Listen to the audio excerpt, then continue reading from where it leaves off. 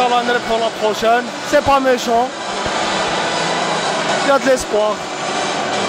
Inch'Allah, le prochain match, on va gagner, Inch'Allah. Viva l'Algérie.